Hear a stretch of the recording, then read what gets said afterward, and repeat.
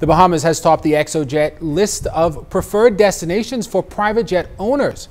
The report from a leading private aviation services company sheds light on the preference of the Caribbean's ultra-luxe travelers. The Bahamas leads the firm's 10 most popular destinations in the wider Caribbean.